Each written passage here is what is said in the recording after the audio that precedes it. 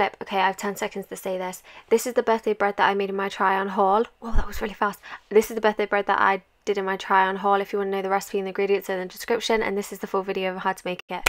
Boom! Whoa! that was sick! Hi, hey everyone. So today what I'm going to do is I'm going to make birthday bread cupcakes. Now I'm going to do a savoury one and I'm going to do a sweet one. I'll quickly show you what I'm using. For the savoury one, I've got corn, carrots, tomatoes, basil, garlic, and then for the sweet one, we've got chocolate spread, ginger biscuits, the candles, the bread mix and the cupcake cases. So I'm going to prep all the veg now. I'm going to do kind of like a time lapse and then I'll be back in a second. This is more like um hey it's Talagan video but I also kind of want it to be educational too because we're going to have one of those out there you know one video you're going to learn something.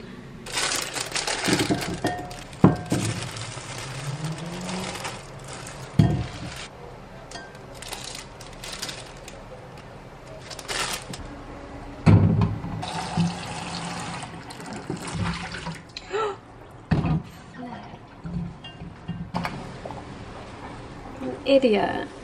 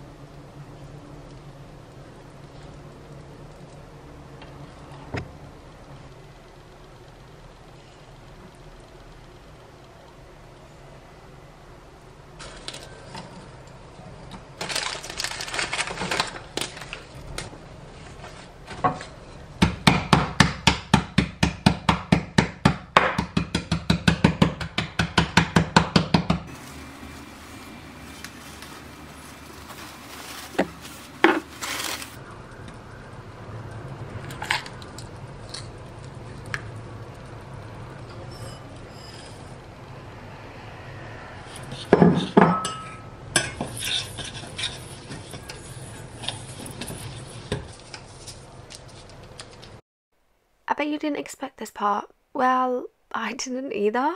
I was just gonna leave it with the, you know, the cooking vibes, but I thought I'd jump on here because I left the TV on. I'll be honest, I left the TV on. As my grandma would say, what a prat. I left the TV on so you can't even hear, you know, the chucking the dough and the sprinkles and, you know, you can't hear the vibe. So you've got me. Aren't you lucky? I just want to quickly let you know that I would love you guys to hold me accountable because I've not been drinking enough water recently. I know this is nothing to do with the video, but I was really on it. I was really on it. And then I went on holiday and I lost everything. Well, not really. I just lost. I just lost the motivation with my water drinking. So, I mean, if you guys want to hold me accountable in the comments, I'd really appreciate that. Like, just tell me. Just be like, you are an awful person if you don't sort this out. Like, I would love for you to tell me that. okay, don't tell me that, it's really weird. anyway, so I really hope you guys try this recipe out. It's so easy and it's so cheap to do as well. I was gonna get all the individual ingredients, but I didn't because I wasn't staying there for long and carrying up like a box of yeast around on the train just didn't cut it for me. So grab these bits i'll put them in the description. But yeah i hope you guys enjoyed this video. I love and appreciate every single one of you that have clicked on this video.